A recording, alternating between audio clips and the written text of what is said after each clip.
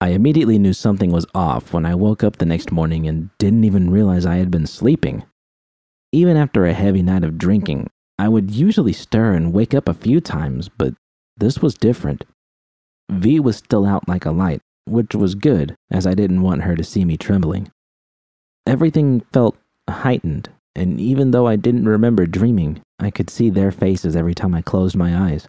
Their laughter echoed in my ears as if they were in the room with us. But the worst thing was that I actually felt them. How had V become so attached to this? I rose as quietly as I could and went to the kitchen to turn on the coffee maker. I huffed in frustration. This thing took forever to brew. If we could ever get our asses out of poverty, this would be the first thing we replaced. Shit, you got a tight ass. I tried to distract myself on my holo while I waited. Setting a schedule for the week ahead was something I used to do before the studio had come about, and perhaps that would be a good way to bring some much needed focus to my life. But as I stared at my screen, I realized I had nothing to plan for. You almost finished fucking her yet? Shit, what I gotta do to get a crack at her? Make an appointment? I dropped my holo and slapped my palms over my ears, desperately trying to stop the voices. What was the point of getting a good night's sleep if my nightmares would be here to greet me when I woke up? Hell, this was worse than a nightmare. I looked longingly toward the cupboard. Fuck it. I'd already proven I could control myself, and the goal had never been to go completely sober, just to cut back to a healthy level, that was all. And it had been a long time since I'd had a cheat day anyway. The bottle was heavy, and I was careful to take it out without knocking it against anything.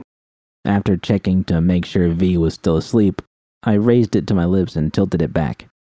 It was shameful. Vodka demanded to be drunk from a glass, but this was purely medicinal, and I didn't want to risk waking up V by washing out a glass.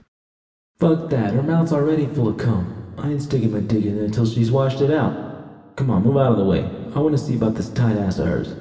Another mouthful quickly followed. There was no reason to be enjoying this, however, and after a final swallow, I put the cap back on and carefully set the bottle back in the cupboard. I was breathing fire, but things were finally growing quieter just as the last of the coffee settled into the carafe. Perfect timing. I poured myself a cup and sat down on the couch. My wreath was still on the table where I'd left it last night. Diving back into the space BD sounded like a perfect way to start the morning, but I felt the pang of disappointment when I realized I had forgotten to turn it off. The battery had completely drained overnight, and while it wouldn't take long to charge, Sweet Dreams models usually only took an hour. My hopes for a relaxing morning were shot. Instead, I turned on the projector. I hated having to turn the subtitles on, but it was necessary so V wouldn't be woken by the epic battle taking place between the vampires and the Frog Brothers. I still couldn't understand why she loved this movie so much, but at least now I could chalk it off the list and say we'd both seen it. V lumbered out of the bedroom just as the end credits were rolling. Morning. Morning. You finished the movie? V asked as she poured herself some coffee. Yep. Was bored. What did you think? It was Nova, I lied with a big grin. I'm thinking the Frog Brothers are going to be my personal heroes from here on out. V laughed and sat next to me. She carefully held her cup in one hand while pulling the blanket over her lap with the other. Thought I was your hero. Still are just not when it comes to vampires. Her smile faltered when she glanced back at the kitchen. Some hero I turned out to be. I had to have my girl literally pick me up off the floor last night. I didn't know why she was beating herself up like this. It wasn't like she'd relapsed. I had told her to take one, and that had only been after someone with real medical experience had advised me to do it. V. No, V slammed her coffee down on the table with such force I was afraid she would break her mug. I watched as V stormed into the kitchen and swiped the prescription bottle off the counter before turning back to face me. For a horrifying moment, I thought she was going to pocket them and run off. Instead, she held them up. I know you thought what you were doing last night was the right thing, and maybe it was, but I never should have put you in that position, Judy. V, you couldn't help it. Like you said, you were literally laying on the floor. And I was only like that because I was weak. Yeah, I had a bad night and I got some bumps and scrapes to show for it, but for fuck's sake, you deserve better than this. I wasn't comfortable with where the conversation was headed. I knew her well enough to know she would continue beating herself up until she was battered and bruised on the inside as well, and I didn't want her doing that, even if there was a small part of me that was angry at her for some reason. She didn't deserve that. Being overwhelmed by your cravings isn't weak, V. What was weak was you keeping this from me for a year while you bled us dry. I stepped closer when she flinched in pain at my words. Not saying this to hurt you. I'm trying to make you realize how far you've come. V shook her head. I don't feel like I've done a single thing right. V, I took her cheeks into my hands so she was forced to look at me. Last night, you asked me for help. You did the right thing by doing that, and I did the right thing by checking to make sure it was okay. We did the right thing. I'm proud of you. I was starting to get through to her, and for good reason. She had suffered over the last two weeks because I hadn't seen the toll her withdrawal was taking upon her. I'd been too caught up in my own shit to notice.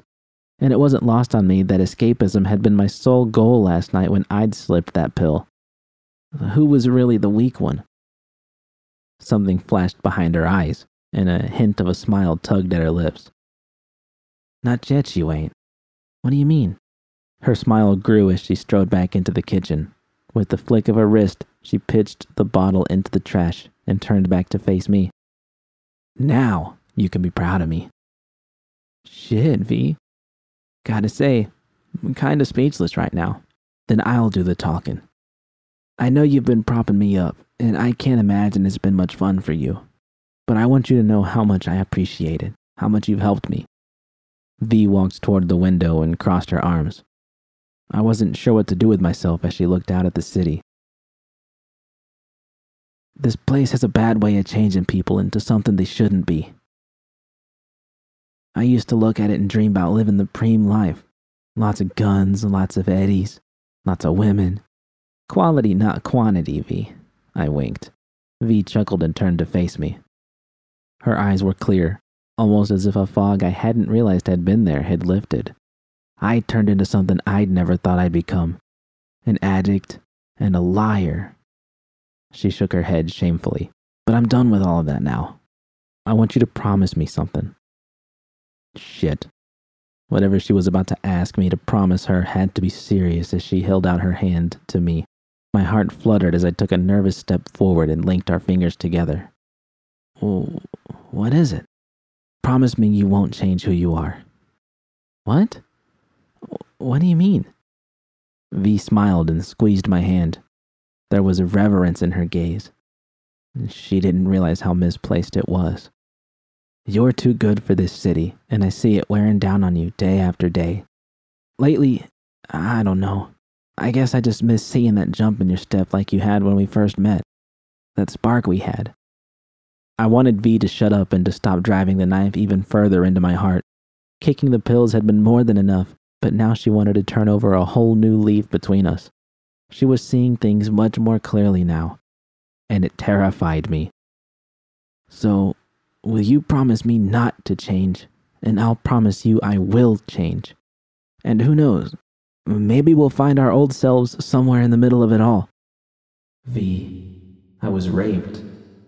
And there's so much more about me you don't know.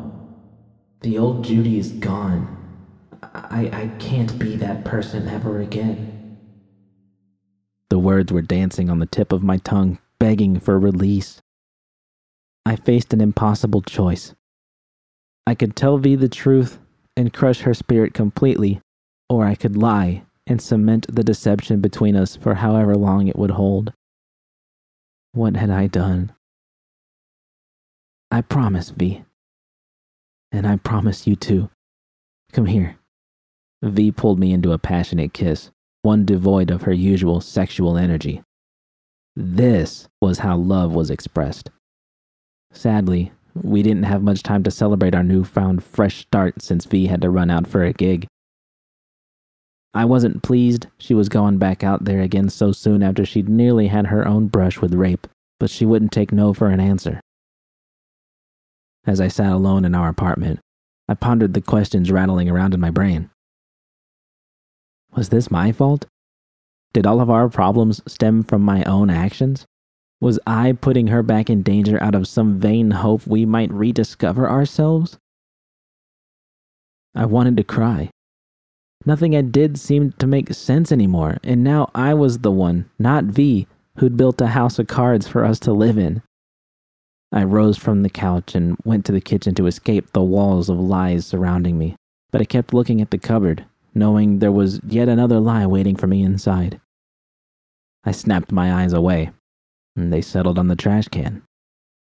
If lies were all I had left, I could at least make sure I didn't lose those too. I swiped the prescription bottle out of the trash and stuffed it into my pocket, just in case.